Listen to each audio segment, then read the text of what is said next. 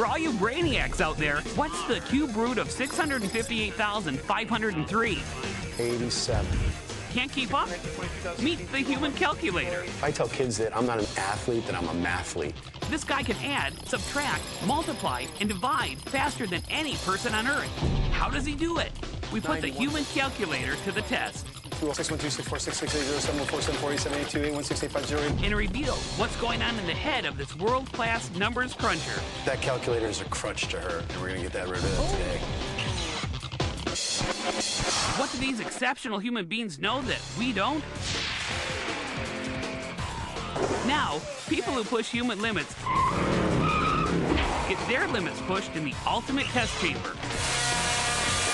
We'll watch them in action, monitor their bodies, and examine the stories that make them more than human. And the human calculator takes on the accountant.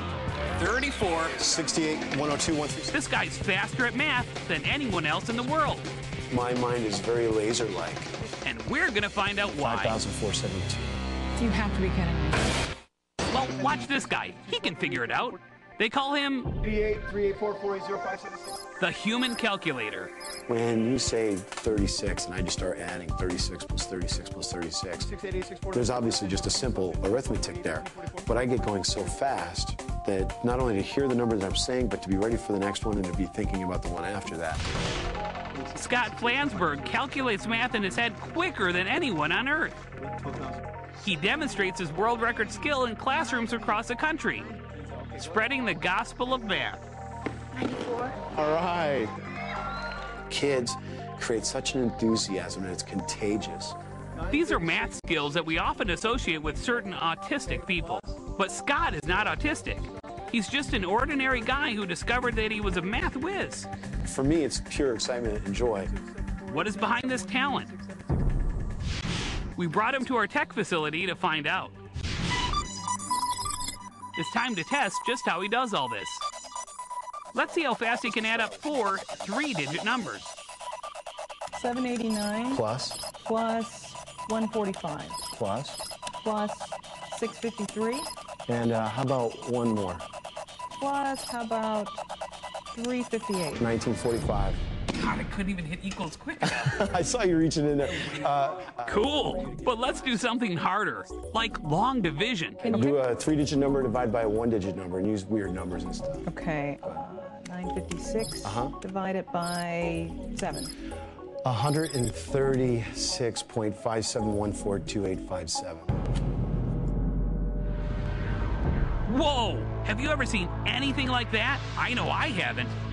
136.57142857. He divided that out seven places in the amount of time it took to read the number.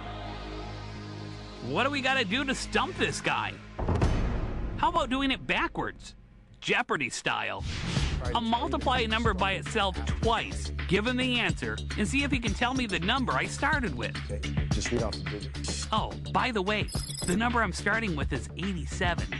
Okay, the digits are 658,503. 87. 87. Before your very eyes, Scott just calculated a cube root of 658,503. Try that on your own.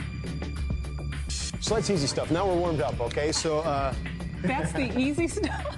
Okay, since we can't keep up with them, we'll bring in a professional. it's. Anne Marie Haregi is a CPA with blazing speed on the adding machine.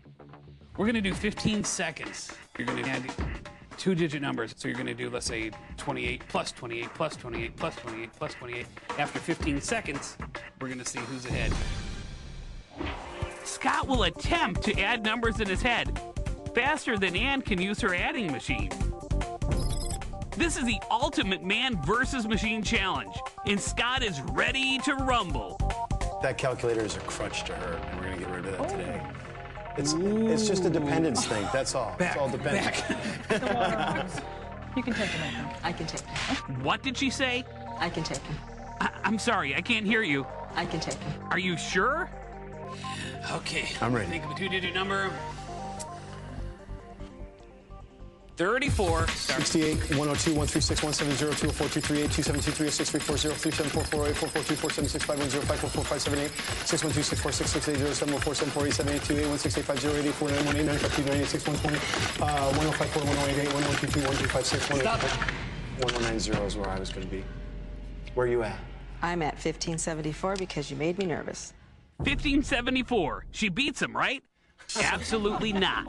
Sounds like you did a 340 something in there. I did a 343. There you go. Yeah. That happens, right.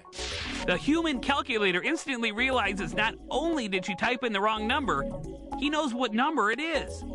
Yeah, she wasn't even close. I, I beat her by a lot. It's hard because you got to get that plus sign in there as fast as possible, right? That's why a calculator, not only, you don't really know what you're doing when you're on there, and the fingers get in the way sometimes. Have you ever seen anything like this? No, I have not. Has easily beaten a professional number cruncher. Our testing has shown that Scott's amazing abilities are real. This is not a trick. Scott is able to perform complex calculations in his head faster than an adding machine. But how does he do it? And more importantly, can he teach us to balance our checkbook? What gives the human calculator his supercomputer ability? I, I don't practice, I don't uh, sit there and memorize anything. Our investigation will uncover the clues to his amazing skill.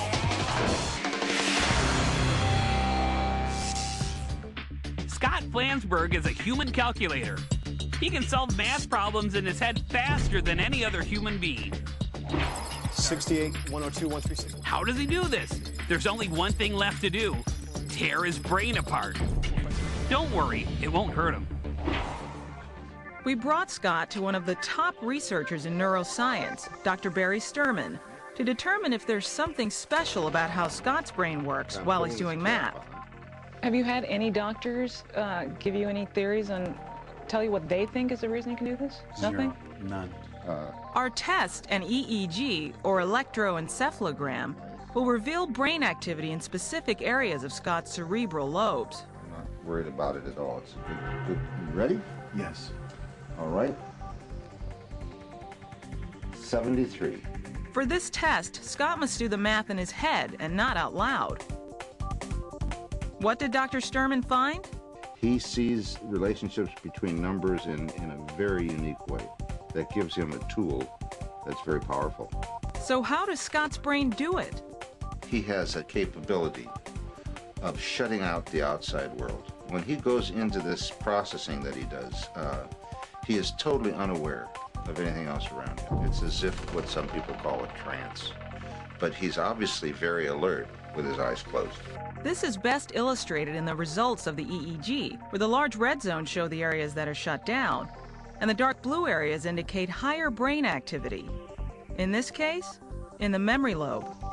It's just not the way most of us use our brains. All of which means that Scott has a remarkable, more than human brain that works like none other.